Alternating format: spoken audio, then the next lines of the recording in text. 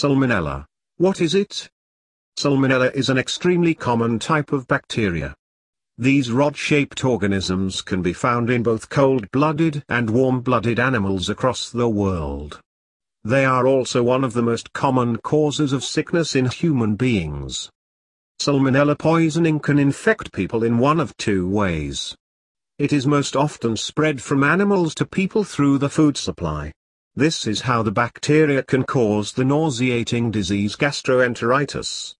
Typhoid-causing salmonella, however, is usually spread from person to person. In this article, you will learn all about salmonella.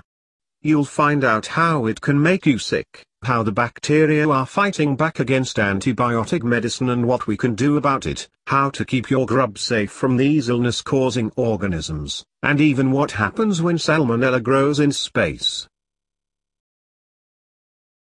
Symptoms of salmonella poisoning Salmonella symptoms vary depending on the type of salmonella that has caused the infection. Most salmonella infections lead to problems with digestion known as gastroenteritis. Though some strains of the bacteria can cause typhoid fever. For most infected people, symptoms develop from 12 hours to 3 days after eating food containing the bacteria. Symptoms often include abdominal cramps, diarrhea, and fever. These symptoms usually disappear after 2 to 7 days, though returning to normal bathroom habits can take several months. However, in a few rare cases, salmonella infections can lead to long-term joint pain known as reactive arthritis, which can over time develop into chronic arthritis. Salmonella outbreaks and serotypes. Not all salmonella bacteria are the same. In fact there are more than 2,500 types of Salmonella.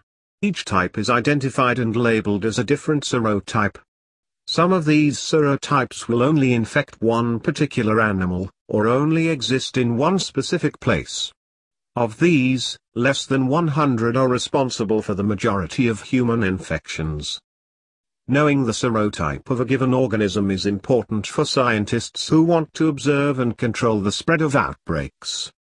Since the 1960s, the US government has paid researchers to discover outbreaks of salmonella with the hope of tracking the source of the infection. Depending on the serotype, a salmonella outbreak could be mild or extremely severe. Important salmonella serotypes The scientists who watch for salmonella outbreaks are concerned about three specific groups of serotypes. These three groups are responsible for sickening millions of people across the world each year, and some of those illnesses result in death.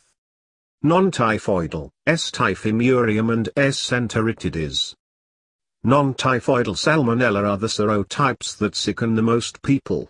As the name suggests, these bacteria do not cause typhoid fever. Instead, they lead to diarrhea and related symptoms. Of all the varieties of non-typhoidal salmonella, there are two that are responsible for half of all human infections in the United States, S. typhimurium and S. enteritidis. S. typhimurium is usually caused by food from animals. S. enteritidis is usually caused by infected eggs and poultry. Every year in the United States, non-typhoidal salmonella sickens an estimated 1.2 million people. Of these, 23,000 are admitted to the hospital and 450 die. Typhoidal Typhoidal salmonella typhi infections cause typhoid fever. Someone with typhoid fever will need to take antibiotics. It is important to take the full round of antibiotics and not stop just because you begin to feel better. This disease is notorious for being passed to others after a person's symptoms decline. We will describe the symptoms and treatment for typhoid more completely later in this article. How many people does Salmonella sicken? Foodborne diseases as a whole infect 550 million people each year. According to the German government, Salmonella infections account for about 90% of foodborne infections in recent years. The CDC estimates that approximately 1.2 million illnesses occur due to non typhoidal salmonella per year in the US. Who is most at risk of salmonella poisoning? According to the World Health Organization, most cases of salmonella infection are mild.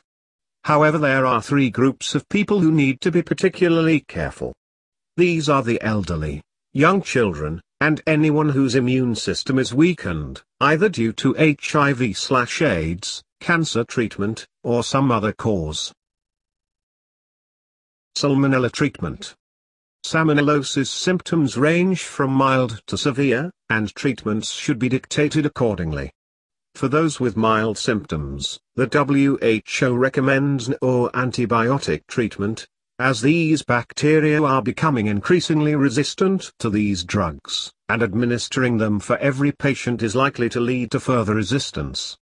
However, anyone in a particularly vulnerable group, including infants and those older than 65 years old, should receive antibacterial medications.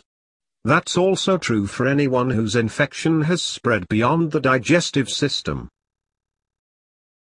Can Salmonella resist antibiotics?